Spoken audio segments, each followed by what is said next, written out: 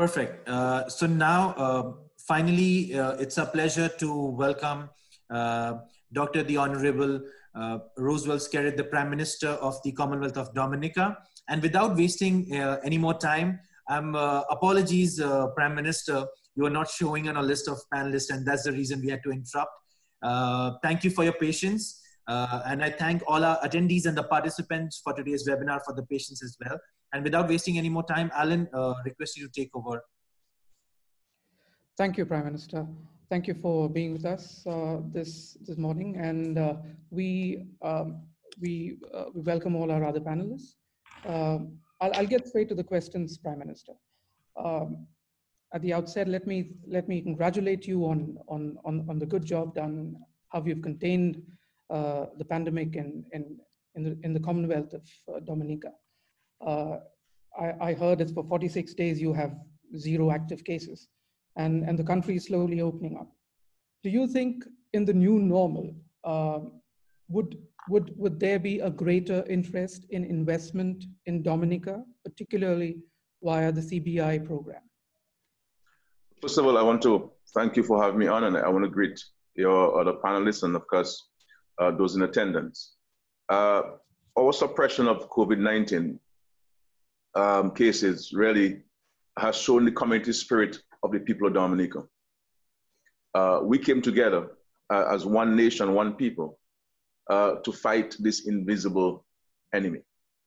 And, and I believe that the strength of the Dominican people and the resilience of the Dominican people um, and the clear indication of a united country all would be attractive to um, the to, to the, to the um, prospective investors.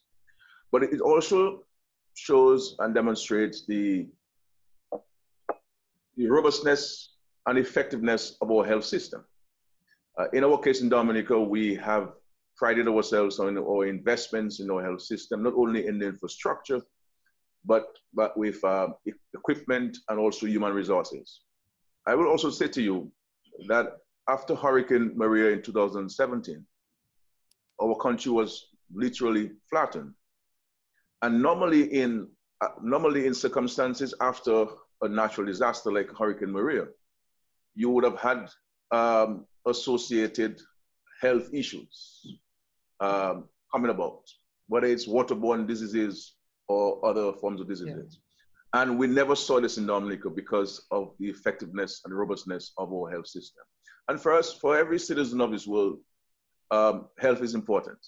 And, and I believe in, in large measure, the, the containment of the spread of COVID-19 and the successful um, recovery of all those who were impacted um, really uh, are attractions to, to investors and prospective citizens alike.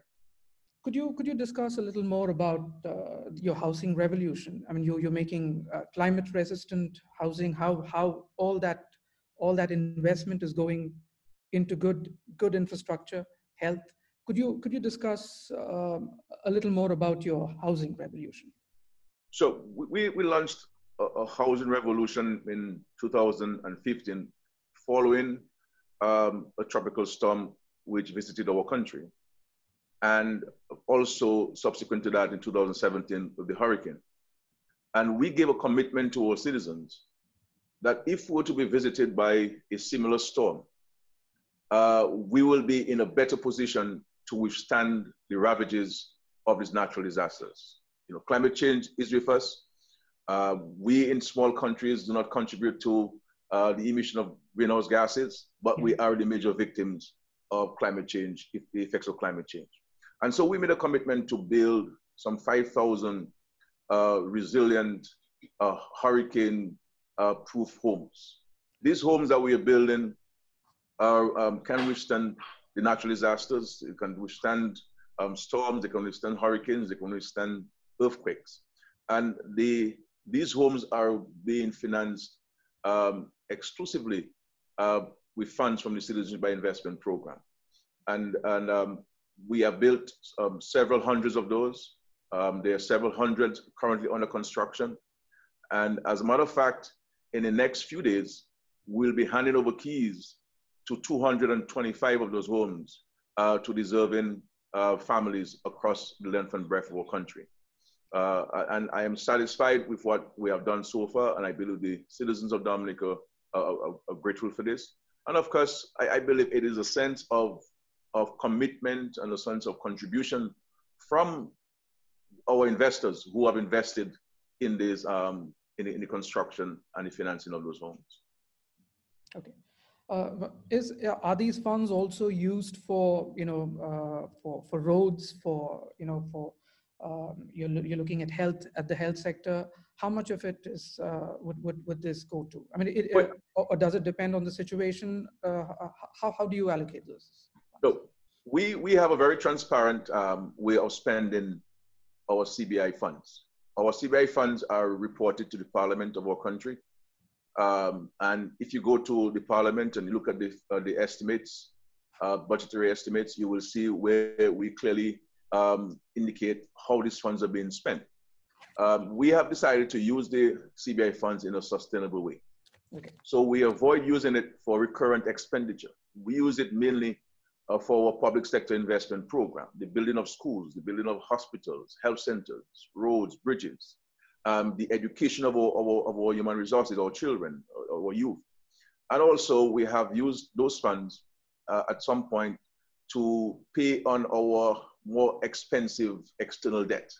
And, and so we have been able to reduce our, our national debt utilizing the CBI funds. So, so I believe in Dominica, we have a, a, a clear um, way of using these funds. And I think without boasting, we can be a template uh, for, for, for many countries with um, CBI programs as to how best to utilize those funds um, to, to create jobs, uh, to grow the economy, um, to reduce poverty, and to create a sustainable path for development in our country. That's one of the reasons why you, you consistently top uh, the CBI ratings. Uh, but but I, am talking of now sustainable uh, sustainable development and climate change. You you have you have been the victim, I would say, of of, of many hurricanes. How do you balance as a small nation, as a sustainable nation? How do you balance the two? Development as far as sustainability is concerned. Well, we, as you know, we are the we are, we're the front line of the fight against climate change. Um, we, we believe that climate change is real and we have um, lived the, the, the impact and implications of climate change. And, and so what we're seeking to do with our development plans is to invest in sustainable projects that could help us withstand the effects of climate change. I'll give you a classic example of a project, and we're moving more towards renewable energy. And in the next uh, few years, we'll be able to produce about 85% of our energy through natural means, uh, renewable means. And we have this major project, the geothermal project, which in large measure will, be financed by the CBI, with CBI funds. Uh, and we will be able to provide, um, supply most of our energy with um, geothermal. But critically too, we will be able to export the excess energy uh, to the islands of Guadeloupe and Martinique, thereby uh, bringing in foreign exchange into our country, but also um, eliminating the use of fossil fuel in our country. And, and so we, we sticking to, to, to balance this, this sustainable development uh, vis-a-vis climate change. The other thing too we're moving very um, speedily to is using more renewable um, materials. Um, for example, we were able to supply our citizens with over 70, over 100,000, sorry, um, renewable um, shopping bags, okay. moving away from the use of plastic bags. We have, we have banned styrofoam material in our country, all in an effort to, to maintaining um, our sustainable development agenda and also the protection of the environment and in, and, and in so doing, putting us in a better position uh, to deal with the effects of climate change. Thank you. Um, I'm talking of uh, your people, uh, startups, entrepreneurship. How are these funds being used to help Dominicans to, to, to build for themselves, to become entrepreneurs, to become startup, uh, uh you know, startup businessmen? How, how are these funds? What has been the response been? Have you, have you been able to you create a startup culture, an entrepreneurship culture in your country? Oh, yes. Oh, yes. Um, certainly, we have been able to do so. Um, we have been able to provide both grants and highly concessionary loans to um, budding and aspiring entrepreneurs in our country and even existing ones. Um, you could come to our development bank as a citizen mm-hmm. and uh, contract a loan at 1% interest. Um, and, and sometimes even at 0% interest, utilizing the CBI funds to help create this entrepreneurship culture in our country. And so, so, so doing create jobs among our people and reduce poverty. And even at a, at a higher level with regards to the investments, the, the projects and the developments with the CBI funds, a number of the developers are in fact Dominican citizens. A, a case in point with regards to Tranquility Beach, uh, Mr. Ian Edwards, he's a Dominican. We have also um, the Anichi, uh, which is um, branded by Marriott, a, a, local Dominican, Mr. Ali Clarence. We also have um, Secret Bay um, being developed, um, some 40 or so uh, villas, a local Dominican. We also have Jungle Bay with 260 um, um, villas, a, a, local Dominican, uh, Mr. Sam Raphael. So we have been able to use these funds to empower our citizens, um, to, to, to create entrepreneurs, um, and to ensure that people can, our citizens can see the, and feel um, and benefit from the proceeds coming out of the CBI funds. Because what we would like to do and what we are in fact doing, and we've seen the results, is for us to become independent. So we do not have to rely on, on, on external um, funding um, from agencies. We can use our, our, our resources um, to build our, country in the manner in which we would like to build it and to empower people in a manner in which we, we believe we should be empowering our people. Personal question, Prime Minister. You you took over in 2004 at, at 31, and you you were you were then the youngest prime minister. Everybody talks of young prime ministers, but back then nobody noticed it, I guess. But then at 31, you were you were prime minister, and and and and and the country has come a long way. What do you think has been your major uh, successes as far as creating an uh, an ecosystem for development in in these in these years, and what what have been your major successes? What do you consider your major successes? well, I always say to my people that I am the least of the apostles, and I, I, I, I, I, I, I, do not um, I, I, am not in a position to, to determine what my success is. I, I leave it to the people uh, to decide. But what I would say to you, my friend, and, and to our colleagues who are with us here this, this evening, that what that, that there's a little there's a little that can really make a, a prime minister um, proud and, and, as, and a Dominican as proud as to see a nation rally um, after natural catastrophe of the scale of Hurricane Maria, um, which in a matter of hours damaged almost every building in our country, um, brought death and, and blocked access to our many natural resources. And even in your earlier question about fighting COVID-19, we have been successful largely because the people of Dominica have been united in our fight. They have adhered to the government's um, instructions and guidelines. Uh, I mean, our people have been on, on curfew and lockdown, and there has been absolutely no uh, issues whatsoever. They have been working with us in this fight. And so, despite it all, Dominica is growing and flourishing. Uh, we are promoting ecotourism, uh, improving sanitation, ensuring uh, disaster risk reduction. In, in, other words, we are being proactive, uh, dynamic, and forward-looking. And, and I, I, dare say that these are some of the things which I am proud of as, as, as a prime minister of our country? You uh, I, will just i'll just veer a bit off. I mean would would you say that you have dealt with so many disasters that you're more prepared for for for a health pandemic like this? Is is it, is it part of you you you you you're made more resilient you're inherently resilient as a nation? Is, is, oh, yeah. would you agree with that? Well, well yes certainly. Um, we have been through for challenges but dominicans we are resilient um, we don't uh, when we see a disaster, we don't go running. we confront it.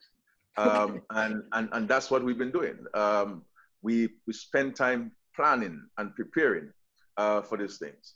And so it is a continuous exercise, um, ensuring that our, our, systems are in place um, and, and our systems are robust, our, our systems can, te- can stand the test of, of scrutiny. Um, and, and, and so we are accustomed to it it, it is not something that we like to confront because we would rather not have to confront hurricanes and of course this pandemic. But we have no control over these things. And, and so the things which we have control over, we plan and prepare for them. And we, and we take full control of them. And, and we bring the citizenry into our trust and confidence um, by, by informing them every single day of where we are, what we are doing, what we shall do tomorrow, and what is required of them as citizens of Dominica. And, and so we have experience. We have experience in, in, in fighting these, um, these, these natural disasters and of course this, um, this pandemic. I mean, you know, when we, when you hear talk, for example, in the international community of the elderly being vulnerable and those with underlying um, health issues are vulnerable to COVID-19. We had an 85 year old man mm. and an 84 year old wife who were, who were both tested positive for COVID 19. The 85 year old man and his wife are diabetic, they're hypertensive. Okay. And the, the, the, the husband has a heart condition. And by the grace of God, he was, he was able to successfully recover from COVID 19. And, and, and again, it, it, it speaks to our preparedness, it speaks to our, the robustness of our systems, and, and our commitment to our citizens. Prime Minister, I'll, I'll just ask you another personal question. When, when you took over in 2004, would, when you looked, looked ahead, and what went on in your mind that day at 31? well, what, what, what um, was going through your mind? Well, you know, uh, I am a, I, I'm a Christian, so I, I, I look to the mountain from whence my strength cometh.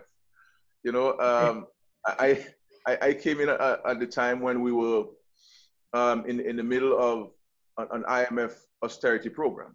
Okay. Um, and, and thank God we were able to successfully um, go through this program uh, with, with flying colors. Uh, you know, in life, you know, when you're placed in a position, it is not a time for you to dwell on the challenges, but look at the opportunities.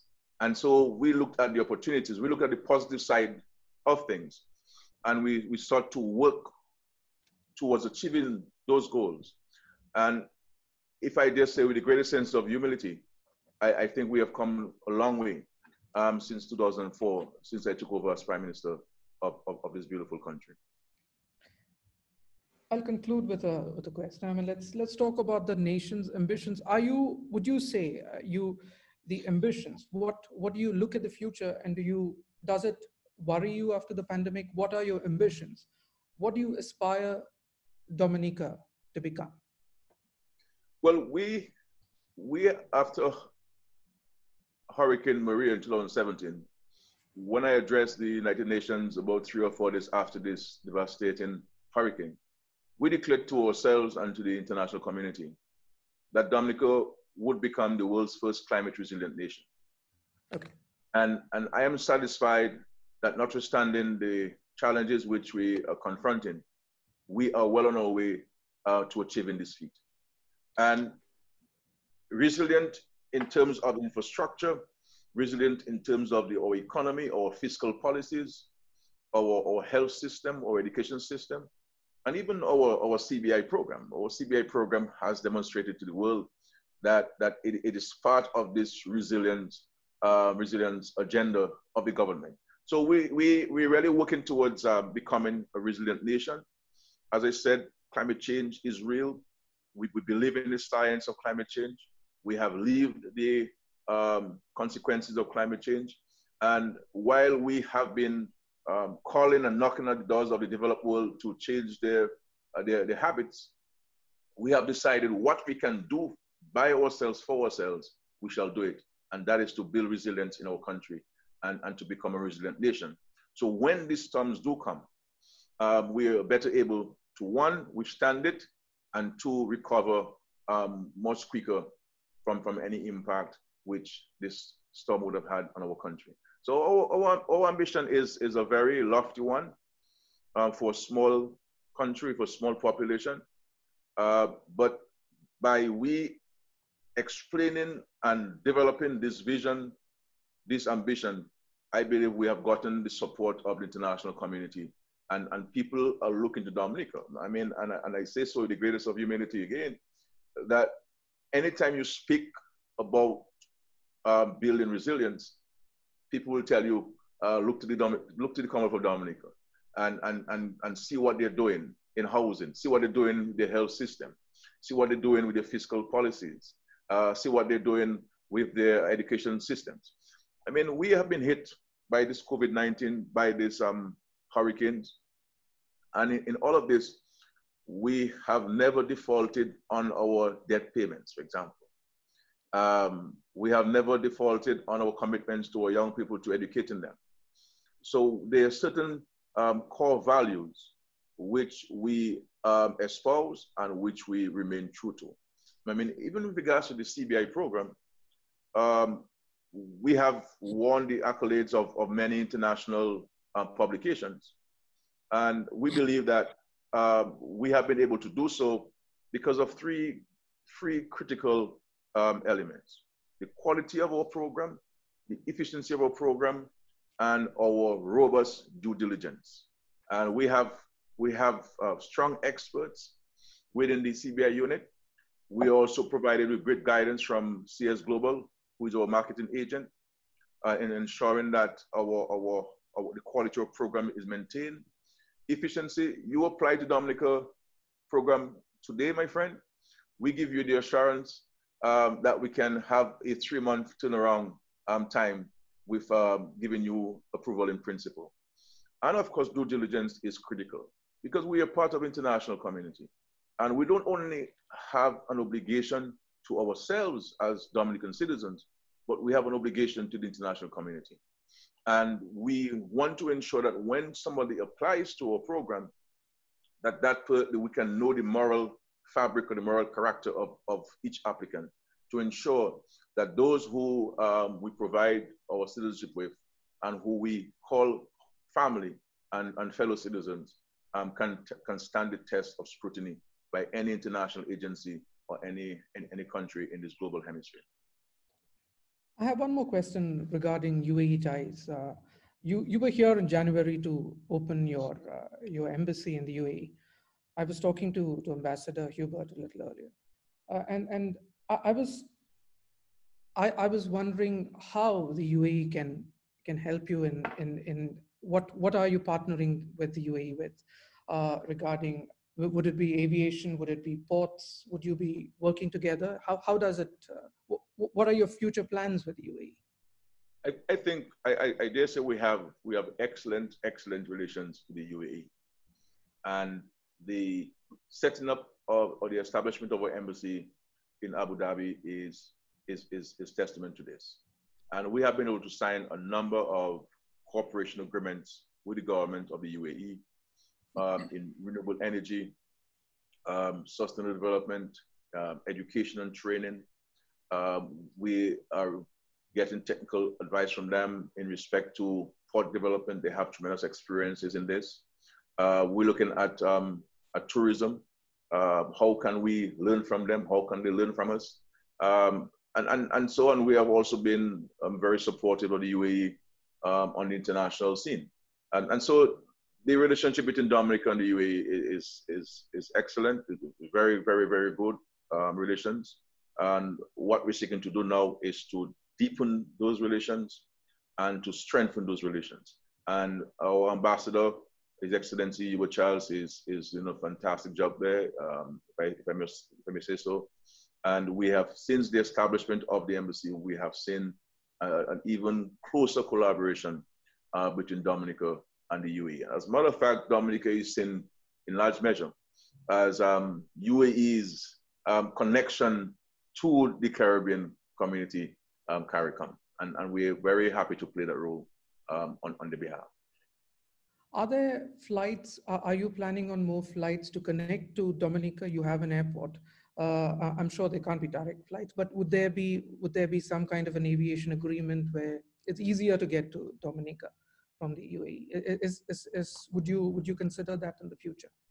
Well, we, we're working, I, must say to you that we're working on our international airport. Um, we, we are finalizing plans for this. Obviously, we, we, we got a little setback with COVID-19 but we're very keen on this. Um, at the broader CARICOM level, we are in discussions with the UAE on the issue of direct flights between the UAE and the Caribbean. Uh, we're hoping that those discussions can continue because, as you know much better than me, the UAE is a, is a major international hub. And, and, and I think um, many of us uh, across the globe can benefit um, from establishing um, um, aviation agreements uh, with the United Arab Emirates. I have two questions. Thank you, Prime Minister. I have two questions for His Excellency Hubert Jones. Uh, it's specifically to uh, related again to the UAE, and I'll just I'll, I'll just uh, quickly summarize it. Um, have you noticed, uh, um, uh, His Excellency Johns? Have you noticed uh, um, more tourism interest from the UAE to to to Dominica? thanks for the question. before I answer it, let me greet the Honorable Prime Minister and my brother and friend, Ambassador Nanton. Even though we are on the same panel, we are miles and miles apart. it's good to share an activity with you at this time. Um, the the relationship with the UAE, as the Prime Minister has indicated, is a strategic one. The intention is to utilize the experience of a country that many would agree is one of the most dynamic and progressive countries uh, in the world, uh, small states in the world, and to utilize the excellent experience of those of the, this country uh, and seek to determine the extent to which they can be applied to our own development challenges. I think it is important for us to, to, begin, to begin with that. Um, no, I don't think it is uh, as yet very evident that we have a large flow of uh, nationals either UAE nationals or Dominican res, um, nationals resident in the UAE to, to Dominica. This is the plan, this is the vision. I, I, I am actually excited uh, to, to be able to tell you that there have been uh, a, a, few uh, Dominicans who, on the basis of discussion um, with us, with the embassy, have actually gone down to Dominica uh, to, to get to know the country and to explore opportunities for investment. I think it is important for us to, to begin there. Uh, nationals need to move into phase two. Phase one is the acquisition of one of the best citizenship and packages in the world. Phase two is getting to know the country so that uh, a different relationship, a citizen relationship, um, can be developed. And I think until that happens, until there is greater demand from our citizens um, and others, but primarily our citizens resident here, for uh, travel opportunities to Dominica, um, we, we, we're probably not going to see the, the, the type of flow, uh, either in tourism or in investment that we would like to, to, to see. Um, the, the point made by the Prime Minister regarding the international airport, I think is an excellent um, one to, to remind ourselves of. Um, until that facility is available, uh, the, the, the tourism program should be pursued and will be pursued through a regional uh, arrangement. Don't forget that uh, the last uh, uh CARICOM UAE uh, forum that was held here, I think in, in, 20, in, 19, in 2018, um, one of the key topics was the question of tourism and air linkages between the UAE um, and, and our region. And there's an agreement that that will be a priority going forward. What, what are the services that are available to Dominican citizens here in the UAE? What does the embassy do? Well, currently, our consular section is already active in terms of uh, renewing passports. Okay. Uh, quite a few of our citizens need to validate uh, official documents, uh, documents coming out of the Commonwealth of Dominica and sometimes from other, other, uh, other sources. So one of our key responsibilities is to, is to validate, uh, having verified, of course, those, those agreement, those um, documents. We also hope to do a little more in terms of uh, utilizing the excellent experience of our first secretary to organize uh, some visits structured visits between Dominica and the, and the uh, UAE. So already the consular section is quite busy um, and we are quite pleased with what we have been able to do up to now. Thank you, Ambassador. Thank you, Prime Minister. I will leave the floor to, to Abhinav, who will, who will take forward a few more questions. Thank you. Thank you, Alan. Uh, I would like to first thank uh, Dr. the Honorable uh, Prime Minister Roosevelt Skerrit, uh, especially because it's early in the morning over there and he's been very kind enough to grace us with his presence. I would also like to um, thank and ask His Excellency Hubert John Charles to please hold on as we have our other two panelists, Ambassador Emmanuel Nanton and uh, Beatrice Gatti uh, from the CS Global Partners, joining us for a couple of questions in terms of a panel. And I would like to start our first question with Ambassador Emmanuel that uh, one of these distinguishing factors for MENA applicants is family size. As many uh, MENA investors uh, choose to include not just spouses and children in the application, but also parents and grandparents. Now, what are the requirements for these dependents, uh, Ambassador Emmanuel?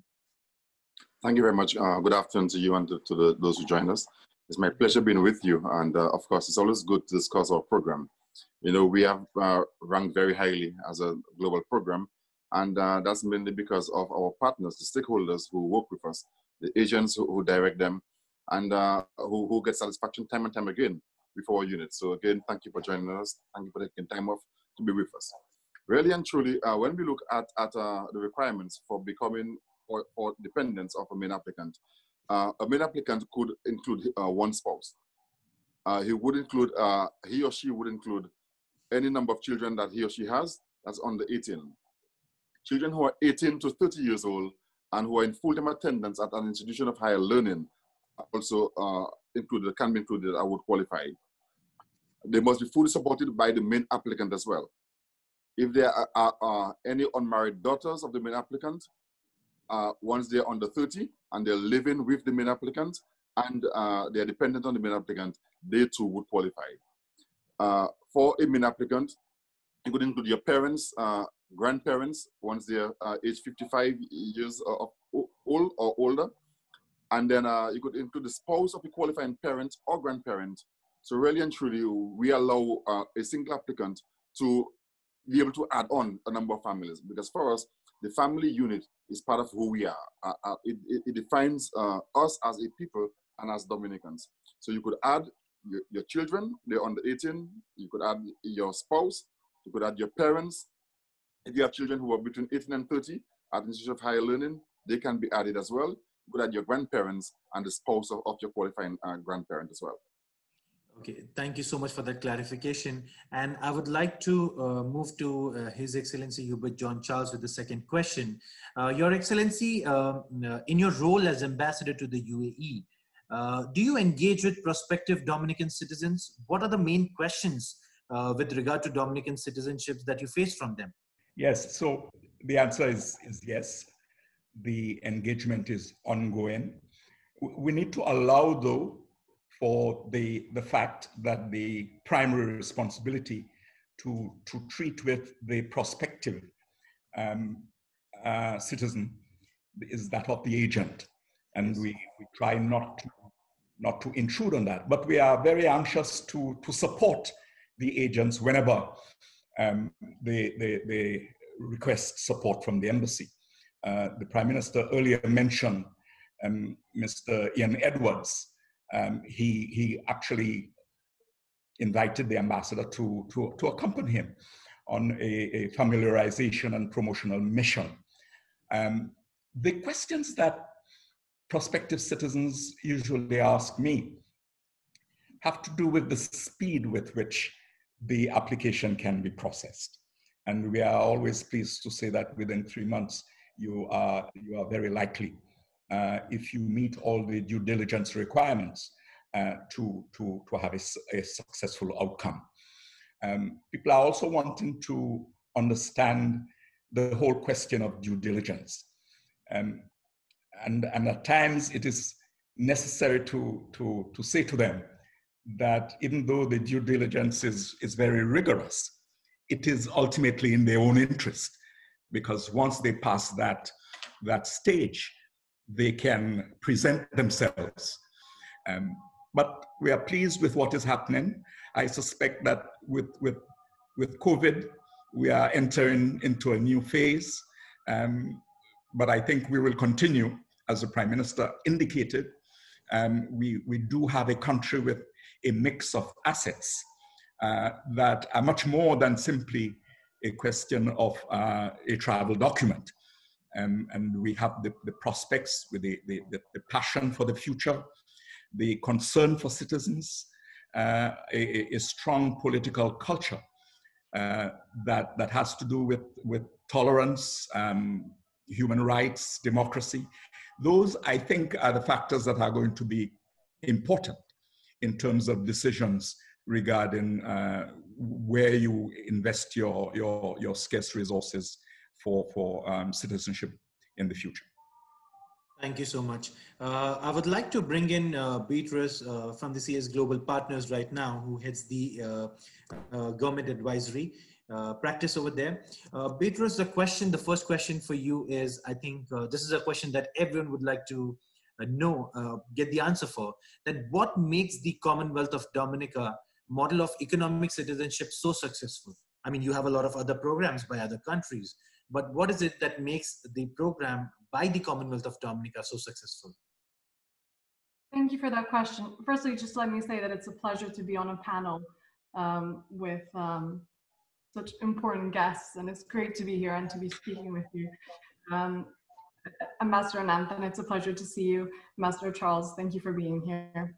Um, so let me let me answer your question. I think there are three things that make Dominica's program a success.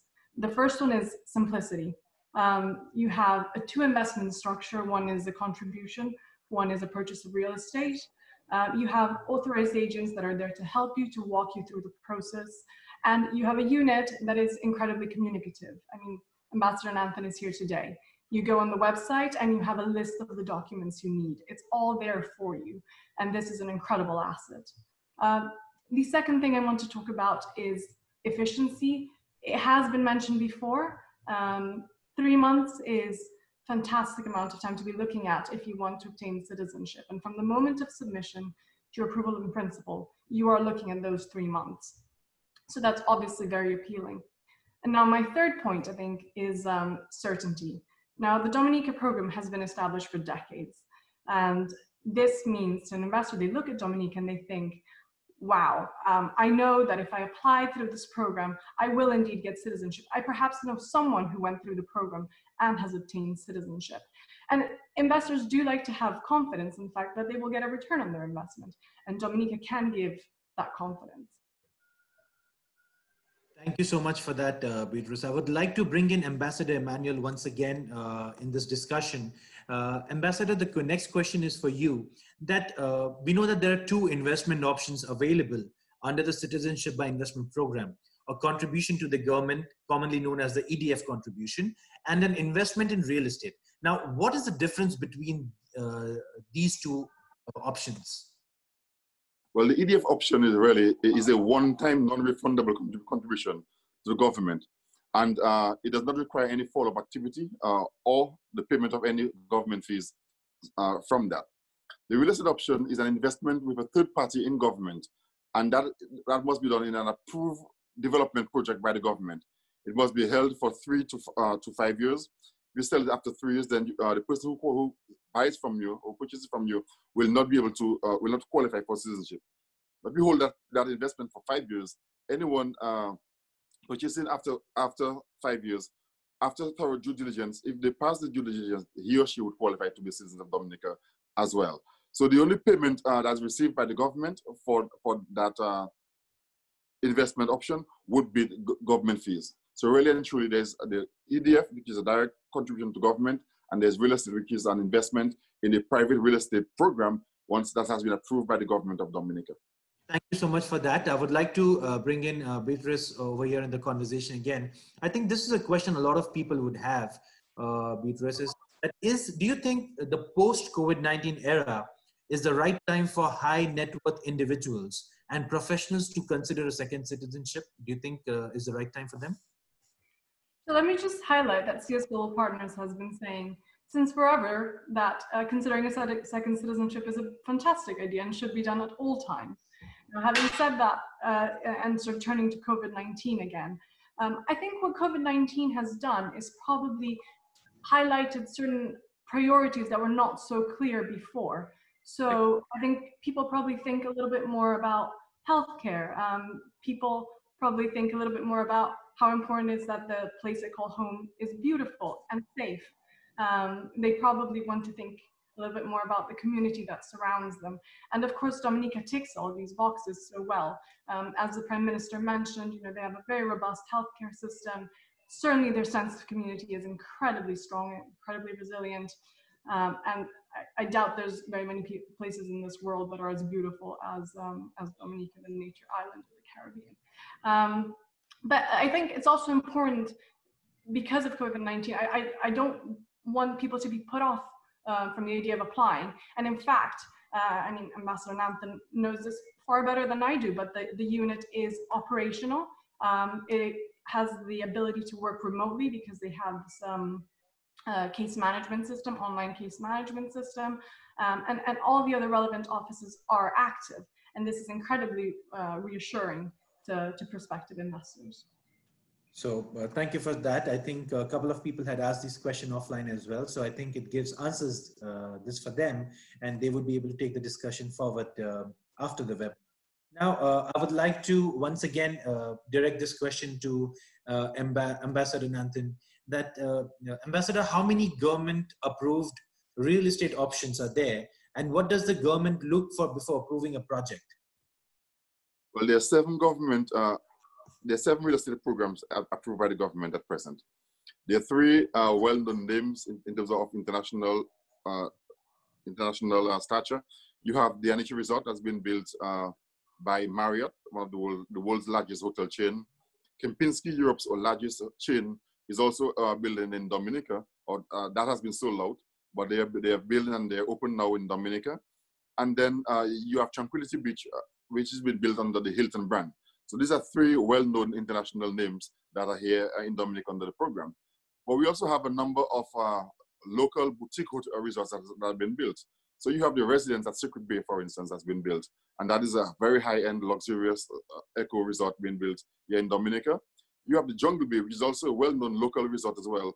And they have won a number of world accolades as well. They have already opened and uh, they're still continuing to expand. So that's been done. And we have the Rainforest Eco Resort that's been built out, out uh, in the rainforest, out in the Trafalgar area. And then we have Côtelet, which has been built in the southern part of Dominica. So there are seven projects right now being constructed in Dominica, and I must say that they are all going on very, very well. In terms of uh, what it takes to qualify to be a, to be a government uh, project approved, then really and truly, you have to be working within the plans of the government of Dominica. So it must be a sustainable uh, project. It must be eco-friendly. We're building the world's first climate uh, resilient nation, and therefore uh, climate resilience is part of what what what uh, we look for when we when we investigate or when we look at a project. It must be of widespread benefit to Dominican to Dominicans. Uh, the quality of rooms uh, have to be important. So I mentioned the, the results that we're building. We're building um, five five-star resorts. The Caribbean is is uh, the one one of, if not the world's leading tourism destination, and uh, Dominica is building more five-star resorts than anywhere else. That's where we pitch our island. That's where, how, where we see our island and where we are moving towards. So you must be able to fit in within uh, within those those type type of things. The quality of rooms that you offer, uh, the benefits of job creation for for uh, our people, uh, markets for our farmers, uh, uh, etc. You must be able to fit in. There must be a product, a project that is sustainable, one that is eco-friendly, one that's been built with high standards and, and high level, and it, it must be uh, able to fit in with government overall view uh, of where we're taking our country as the world's only climate resilient nation, or the world's first climate resilient nation. Uh, thank you so much for that, Your Excellency. Uh, Your Excellency, uh, I have the next question is for you as well. That uh, whether a um, MENA family, when we say MENA, it's Middle East and North Africa family, chooses the fund route or the real estate route, what costs would that family face? Now, let's take, for example, a family of six composed of a father, a mother, two children under 18, and the main applicant's two parents and a single applicant. Now, what are the costs that these family would face? For such a family, really, if you take the EDF option, it would be $250,000. Then you, of course, if you have, have a family of six, under EDF, it would be $250,000. If you take the real estate option, that would be um, $200,000 plus $50,000 government fees. Neither the contribution to the EDF or the real estate investments uh, are due. So in fact, we allow, we allow, uh, we accept the monies for due diligence and processing fees upfront. After, after you, uh, we have been vetted and given approval in principle, that is when we, we allow you to send your monies to Dominica or we allow you to pay. So really and truly, we let you know that you could apply. But unless we are confident that on in who you are, we have done thorough checks on you, we will not accept your monies for investment, either for real estate or for uh, for um, EDF fund. For due diligence, the main applicant would pay seventy-seven thousand five hundred dollars, and for for for uh, real estate, it, it, it would be the same thing for any child who is above 16 years, there will be a further charge of $4,000 per applicant who is per, per dependent who is above 16 years of age. And then for the file is a $1,000 processing fee for the, for the child for a file, irrespective of the size or the number of applicants or people in that, in that file. Uh, thank you so much for that. And uh, I think that gives uh, quite a lot of clarity on uh, what is the charges that the, uh, these applicants would have to face. And I would move with this to His Excellency Ambassador Hubert John Charles for the next question. Now, Your Excellency, I would like to ask you that do you know of success stories of individuals who have completed the citizenship by investment process and had a positive impact on either the UAE or Dominica by virtue of their new citizenship? Not yet in terms of the individual, um, but I think where we need to focus is on the, to the total, the total package, the, the, the, the combination of all those individual investors that we have been speaking about this morning has created a, a capacity um, that has been transformative um, in, in agriculture, in, in housing, uh, in education, almost in health. Uh, the CBI program, I think it is fair to say, has been a Dominica success story, yeah. uh, and that virtually every area that has been focused on has been has been has seen significant transformation. Um, reference was just made to the to the, the hotel sector. Uh, just look at the speed with which the sector has been transformed, and not just the speed, but the quality uh, level of the facilities. Um, this has been remarkable. There's really no question about it. Um, and, and, so, and so we simply need to continue to make sure that the, the, the program continues to be continues to be successful and continues to evolve. I think uh, uh, with this question, we would also like to uh, bring Beatrice back in the conversation. I think she's been missing in action. So, uh, Beatrice, next question is for you. Uh, uh, in what ways does the Dominica CBI program attract individuals from the Middle East, and what is the response that you have seen? I believe this question would be very important for the prospective applicants as well. So, what is in what way does it attract, and what is the response that you have seen? So, I think there, there's a few things that I can mention here. Uh, the first one being that Dominica is a very family-friendly um, jurisdiction, uh, so you can add a lot of dependents um, to, to your application. So for example, parents, grandparents, um, and indeed children up to the age of 30. Um, so that's obviously um, very interesting to people who have very large families, as is often the case for families in the Middle East. Um, of course, it's th there's good value attached to, to, um, to Dominican citizenship. Um, you know, Ambassador Nanton uh, said it very clearly earlier when, when you know he mentioned single applicant needs needs to make a contribution of 100,000 um, to the EDF, or uh, it's 200,000 for real estate um, plus government fees. So these thresholds uh, remain attractive.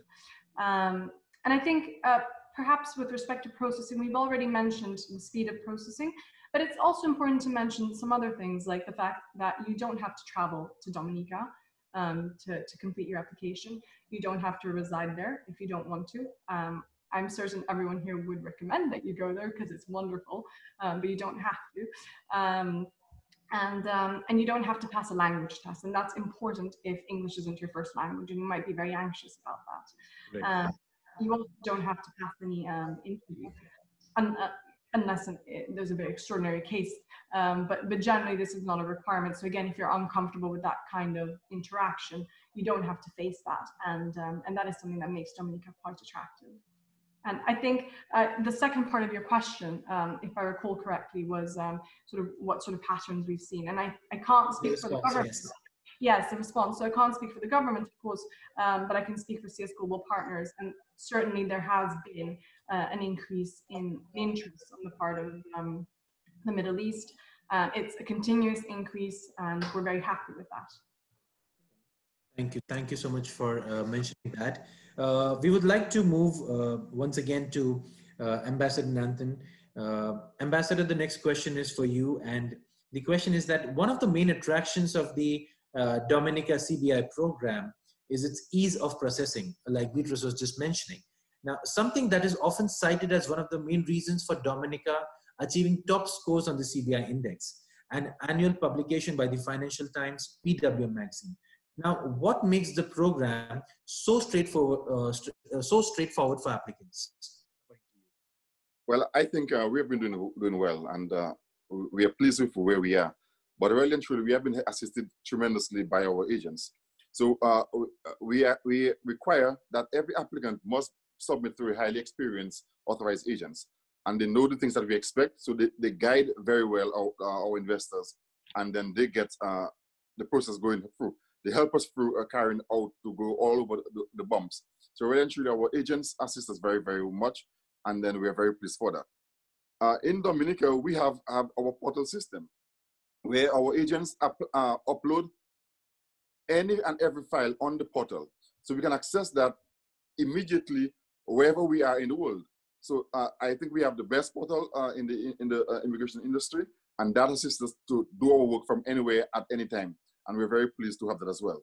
We have also uh, have no travel is required to Dominica, so you don't have to travel and you don't have to be resident in Dominica, and that for us too uh, is important. There's no language uh, requirement, so you don't have to speak English to, to apply or to qualify. And then there's also no longer, there's no mandatory interview of all applicants. Once we assess who the applicant is, look, go through the file, then uh, we're able to go through, make our assessment. And if we need to ask you more questions, we will. If we need to send back information, uh, to get more information, we will, we will ask those information, send it back to due diligence uh, and move forward.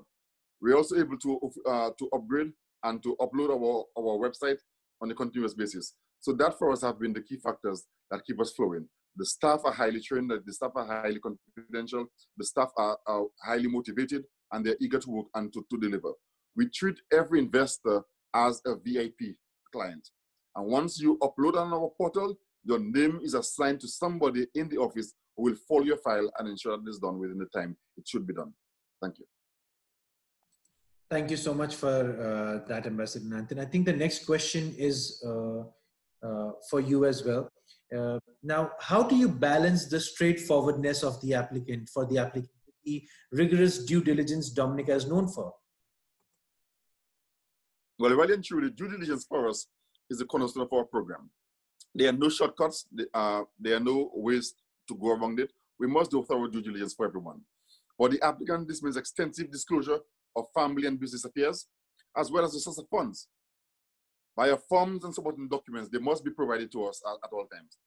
However, the bulk of the due diligence process takes place away from the applicant, such that the burden of is this is placed on the government and partners entities. They, we have uh, a 40 due diligence process where our agents must know their client. They must also submit for us uh, a, a world check on, a, on, on every applicant. There must be an internal review by the unit staff. And I mentioned before that those are highly trained. They are trained in anti-money laundering uh, and, and other such pills.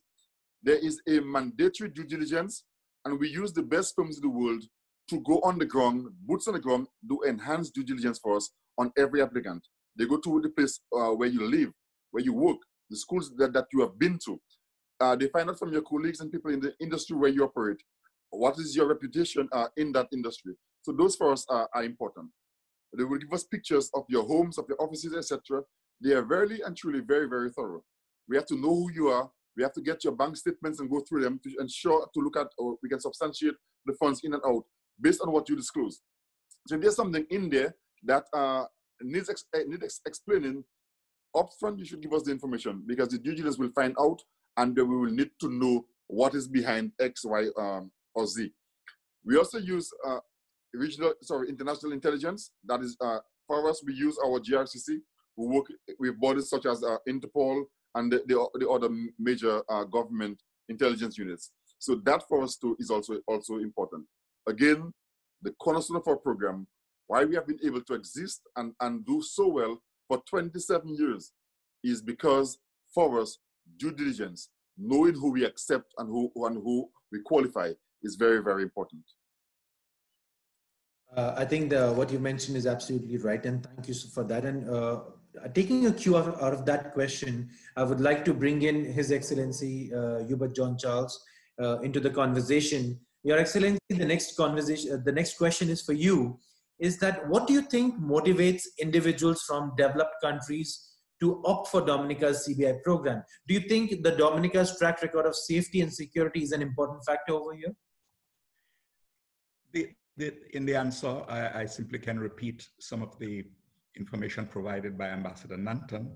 Um, due diligence, I think, is, is one of the features that is best associated with the Dominica process. Um, by now, I think people know that you have to subject yourself to, to, to, to the rigorous due diligence process.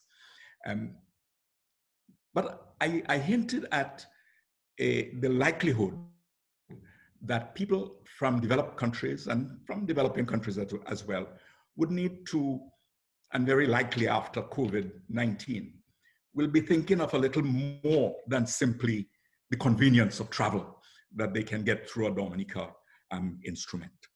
Um, they, they, will be looking at, at, at, health, they will be looking at um, the quality of the environment, they will be looking at longevity. Um, the things that COVID suggests to us that, that, we pay much more attention to the quality of life, um, the ability to, to turn off, to, to, to escape for a little while into an environment that is healthy, but at the same time peaceful with progressive citizens. I think that progressively, that is one of the things that people are going to pay much more attention to when they are deciding uh, on an investment option with regard to second citizenship. I think uh, uh, that's absolutely right, what you've just mentioned. Now, uh, uh, I would just like to move once again to uh, Ambassador Nanton. Ambassador Nanton, the next question is for you. That, like His Excellency Hubert mentioned, you also mentioned in your previous, previous answer, uh, due diligence is a component of a much wider commitment to safety, integrity, and transparency. Now, in what other forms do safety, integrity, and transparency manifest themselves within the context of the CBI program? Well, first in Dominica, uh, we haven't we exclude any applicant who have been denied a visa-free uh, visa to a country we have a visa-free access to. So if you apply uh, to the UK or, or, or Germany, uh, Europe, Schengen, uh, we would we would de decline you on those because we have visa-free arrangements and we respect those. Dominica also excludes uh, certain nationalities where underground vetting becomes uh, difficult. So uh, North Korea uh, would be one, uh, Sudan and Iran would be difficult. we would not accept th those applicants unless if you're living and working out of those countries for, for a 10-year period and you have no substantial assets in those areas. So that uh, has to be, that was the terms in which we will accept an applicant from those countries. Of course, uh, integrity, transparency. The names of all those who receive CBI are published in our official gazette. Uh, in Dominica, so, so in Dominica, the citizens know who, the people who, who, who, qualified. The money received from the program is scrutinized by the Director of Audit, and those are reported to Parliament on, on a, a regular basis. Uh, money received from CBI applicants uh, how they are spent. They are itemized in our national budget. Third-party auditing uh, is done. Recently, we had PricewaterhouseCoopers and uh, Coopers invited to Dominica, and they did an excellent review of Dominica on how the funds were utilized and spent. This has been the result of a detailed report, and that was published uh, in 2019. So really and truly, the Dominican populace are fully aware of what's happening. The Prime Minister spoke earlier of housing. We spoke uh, uh, of the investments that are taking place now in, in healthcare. Hospitals being built. There are 11 health centers being built uh, around the country. We have the Yes We Care program where we take care of our elderly that's, that's been funded by uh, the citizenship program. We have the NEP, National Employment Program, where we have thousands of young people live in school who are employed. So Dominicans, by and large, east, west, north, or south, are aware of what's happening and they know the value and the contribution of CBI to Dominica and to our country let me just congratulate the Prime Minister on a job well done in really and truly demonstrating how really to do it in terms of CBI. We go out, we expand on our program, we use the monies for the benefit of the people, and the people, by and large, uh, are satisfied with the quality housing that, we, that they're getting through our housing revolution, the quality health centers that's been built, the schools that are being built, uh, the roads, the young people that have been taken care of, uh, uh, as well as the elderly who we're taking care of. So really and truly, our program is transparent. Uh, the reports are there for all to see, and we publish the name of all our successful applicants. And I believe, uh, as Pricewaterhouse said in their report last summer, Dominica is a model that all can follow up to. Absolutely. I think uh, a lot of us will agree to that point that you mentioned. And uh, which you reiterated with the PM, uh, Prime Minister had mentioned earlier. Uh, now, Ambassador, we would like to move to the next question uh, from here. Uh, now, CBI programs are increasing in number, as you know, right? With more and more nations implementing CBI legislation to attract investors. Are you concerned about these, this increase in the number of CBI options available to foreign investors? Really and truly, no we're not concerned uh, uh, of the number of countries doing CBI program. I believe uh, the industry is a good one. The industry has been there for a while. We expect the industry to grow. Dominica, uh, we have led uh, led the world, the migration industry for, for the, the, last number of years. We're hoping that once we can control and maintain integrity uh, in the world industry, we'll be satisfied. Once we can maintain our, our share, our market share, if the volumes increase, then we will increase. We do not subscribe or believe in tarnishing other programs we do not subscribe uh, or, or, believe in uh, spreading dirty rumors um, in the program. Really and truly, too often we have people in the industry touching the industry. I believe at a time where we have COVID-19, introspection is where we should be. We should, we should be. We believe that we should be looking at the mirror. As we look uh, at the, the industry post-COVID, we need to look at what can I do to make it better we have gained the confidence of thousands of investors and have directed them to invest hundreds and thousands and millions and billions of dollars. They take our advice. I am sure they will take our advice on other things as well. So what else can we provide our investors with? Which other areas we can add to the industry? And uh, what we do and how we do it is not dependent on how we dirty the name of somebody else or of another agent or of, of another country, another program. Right now, yeah. as we're inside, I want to ask our agents, ask our professionals to look in the mirror. Look in the mirror.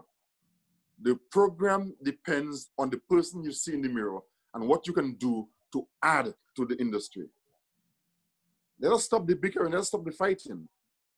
Let us look at what else that I can do to make the industry better. And as the industry continue to grow, we will grow. Our, our volume will increase. Our revenue will increase. But it depends on how well we take care of each other. We must be each other's, uh, each other's keeper. I believe that is good from, from, from my view, from where we stand. That's how Dominica stands. That's, that's, how, that's our perspective on the migration industry at present. Uh, now, uh, Ambassador, we would like to uh, because it is obviously the um, webinar is for this program itself, the next question is again for you, is that um, historically a key driver for CBI has been the added mobility that applicants obtain upon becoming citizens of Dominica. We're talking about the visa-free uh, travel, right? How, how has Dominica increased its visa-free and visa on arrival destinations? We had, we had visa-free visa on arrival to 120 countries. Yes. We continue to improve and increase on that. We, has, we added uh, Brazil, we added Russia. So we now we're up to 140 countries. Uh, for us, the value of our passport is important as Dominicans, no matter where you are. And uh, as we continue to lead the global migration industry, uh, having access for our citizens, uh, because by and large, the people who invest in the program are businessmen and they want to be able to get up and take advantage of an opportunity uh, on the spot, on the spur of the moment. And that's what we do. We, we look at how we can improve and how we can uh, get more visa access to all our, for all our citizens, wherever they are.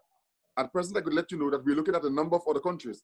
And that, although we stand at about 140 now, hopefully by the end of the year, we'll be closer to 150 or, or beyond 150. So really and, and truly, we listen to our agents they're the ones who direct us. They're the ones who tell us, uh, they're the ones who are in touch with, with the, the, investors, and they're the ones who tell us how the investors feel and what they're looking for. And once we listen, we try to be flexible by improving the quality of what we do and not, uh, once we don't have to compromise on, on the integrity of our program.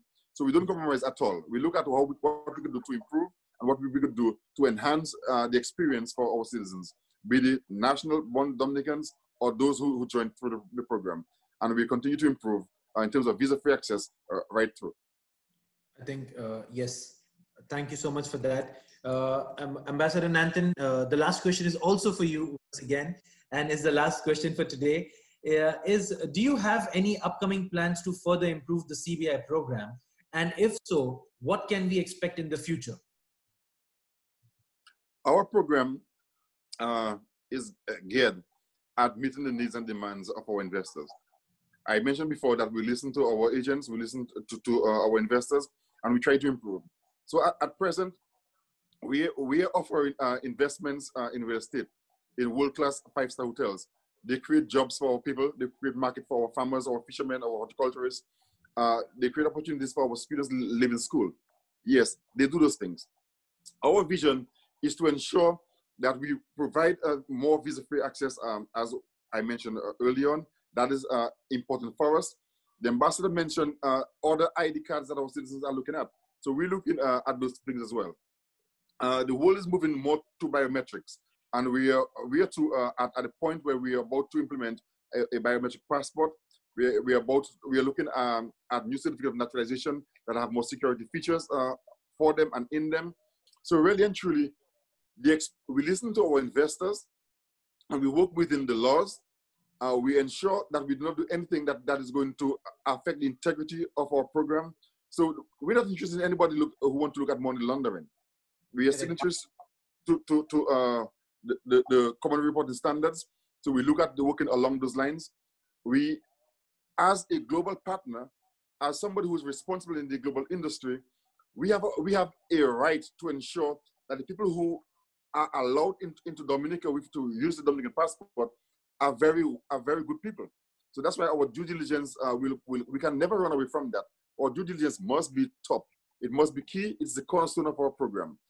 But we listen, we take advice from uh, our investors, we take advice from our partners, we take advice from those who are involved in the industry, and we try to ensure that we upkeep the name of the industry at, at any time.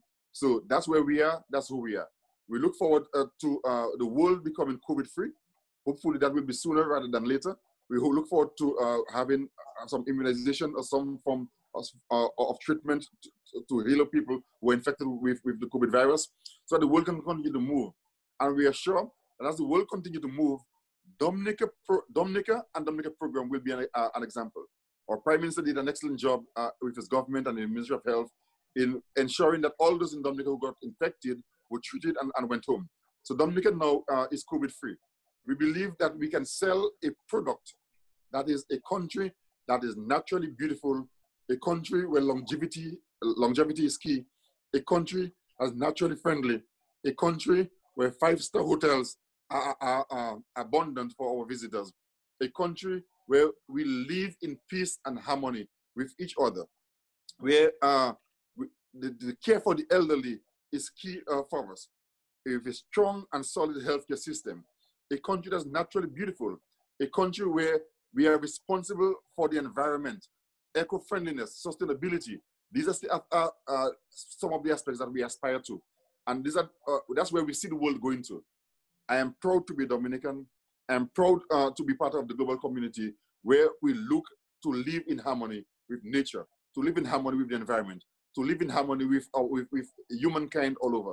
And we encourage people to come on to invest in Dominica. We encourage people uh, to join us to visit our country. You will be pleased, you will be uh, blown away by the natural beauty, the friendliness of our people, the whale watching, the, our flora, our fauna, the houses that we're building for the people who could not afford. I believe really and truly in Dominica, we are a country, we're a nation where we believe that taking care of your brothers and sisters is paramount to how you live. That is Dominica. That is the country where we're inviting people to invest in. And that's where we're inviting you, our partners, to come in, visit, and invest. Let us make this world a better place to live. Thank you and have a good day wherever you are. Thank you very much.